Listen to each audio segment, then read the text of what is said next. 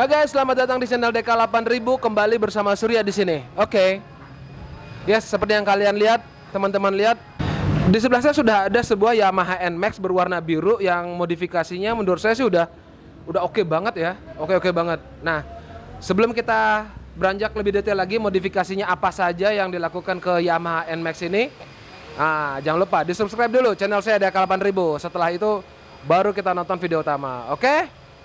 Selamat menonton.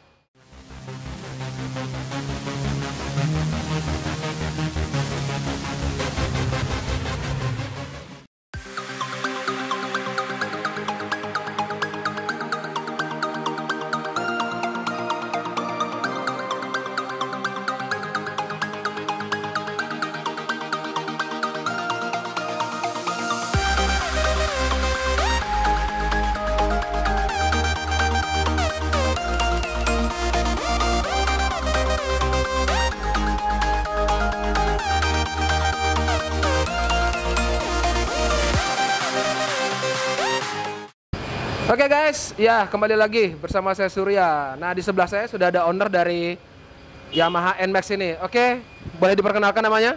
Eh, nama saya Gong Andira, Gong Andira. Gong Andira, ini ikut tim apa Gong? Kalau boleh tahu Gong? tim Teng, Tim Teng. Tim Teng. Artinya apa? tim ganteng. Tim ganteng, Bo. Oke, sip. Oke. Oke, Gong, sama panggil Gong aja ya. Gong, kalau boleh tahu nih kan Yamaha NMAX-nya udah oke, cakep banget nih. Karena setahu saya Yamaha NMAX biasanya maaf begitu-begitu aja modifnya, tapi ini jujur beda banget. Ah, kalau boleh tahu, aliran apa ini ya? Mau aliran modifikasinya? Kebetulan saya mengambil aliran dari Racing Look. Racing look. Oke. Ya. Ah, racing look. Kalau boleh tahu, kenapa NMAX?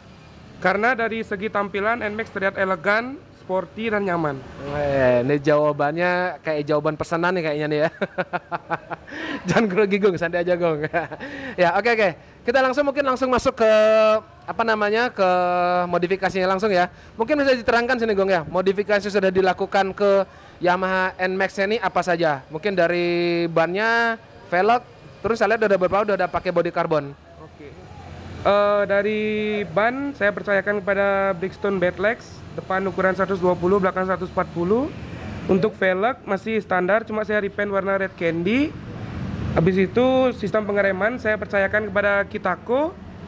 Eh, knalpot saya gunakan R9 dan shockbreaker jelas saya percayakan kepada Olins. Oke, siap-siap. Ini cakramnya pakai apa nih depan ini ya? Eh, TDR. TDR. Oke, TDR. Terus ini saya lihat ini banyak baut Pro Ball juga nih kayaknya nih ya. Oke. Itu selang remnya? TDR juga. TDR juga. Oke, oke. Eh, ini juga saya lihat ini banyak ada karbon-karbon. Ya. Ya, dari karbon-karbonannya ini eh kenapa ini karbonnya karbon overlay atau overlay semua? Oke, oke, overlay semua. Nah, terus ini saya lihat juga di bagian lampu sennya, lampu ratingnya ya. Ini udah dimodif juga ya? Eh, ini produk dari JPA depan belakang stop lamp 3 in 1. Three in one. Ya. Oke. Kalau lampu kalau headlampnya? Headlampnya masih standar cuma saya ganti lampu titik ini pakai LED.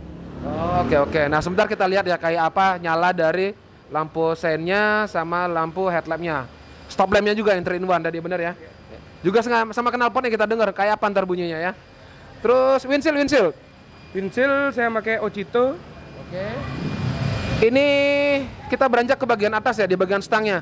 Ini kayak bagian stangnya lebih lebih padat nih kayaknya nih. Bisa dijelasin? Oh, kalau stang sih masih standar aja cuma dipermanis dengan carbon overlay. Ini master, ini gas spontan, udah itu aja sih. Masternya pakai apa? Gas spontan pakai apa? Eh, gas spontan dan master saya percayakan sama Kitaku. Kitaku juga. Kayaknya full Kitaku semua ya. Sponsor? Enggak. Siapa tahu KTC alias kita aku mau sponsorin kan lumayan. Terus itu tabungnya? Tabungnya kebetulan saya pakai Brembo. Tabungnya Brembo. Oke oke, sip sip. Terus masih kelihatan juga ada buat Pro Bolt juga di sana ya. Ah, terus oke ini pertanyaan saya yang mungkin agak sedikit nyeleneh dikit. Mesinnya gimana? Eh, mesin sudah nggak standar lagi di bore up tipis-tipis. Oh, borap tipis-tipis. Oke oke oke, sip sip. Ah, borap tipis-tipis. Kalau boleh tahu, ini ini biasanya pertanyaan banyak ada di teman-teman yang modifikasi Vespa biasanya ya. Udah berapa habis untuk modifikasinya ini dari awal sampai akhir?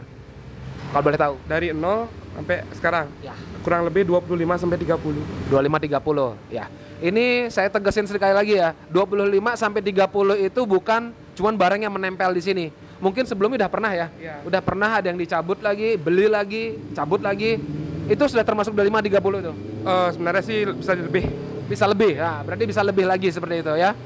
Jadi jangan sampai ada yang bertanya, modifnya gitu dong, harga 25 30. Ya, yang terlihat memang seperti ini. Yang nggak kelihatan kan kawan-kawan semua nggak pada tahu. Ya mungkin kurang lebih kayak gitu ya. Oke, eh, terus setelah ini rencana modifikasi lanjutannya seperti apa nih? Mungkin ngerubah konsep aja sih, juga mungkin ngerubah di sistem pengereman, pakai yang lebih daripada Kitako. Oke, berarti kalau lebih dari kita kok naik Brembo semua berarti? Astungkara naik.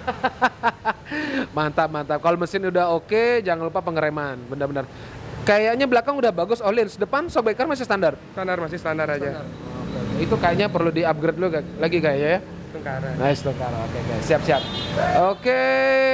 Kalau begitu demikian aja dulu, Gong. Terima kasih banyak waktunya ya. Sudah diizinkan DK 8000 untuk mereview motornya walaupun singkat. Nanti mungkin kita ketemu lagi setelah kalau motornya dimodif lagi ya. Oke. Terima kasih banyak ya, Gong ya. Oke, sampai ketemu lagi. Siap. Oke, demikianlah wawancara singkat eh, kepada Gong yang punya Yamaha NMAX berwarna biru ini ya. Jangan lupa di like, share, komen, dan di subscribe channel saya DK8000. Setelah ini akan ada sambungannya lagi. Seperti apa? Ah, tonton terus saja, oke? Terima kasih sudah menonton. Have a nice day. Bye bye.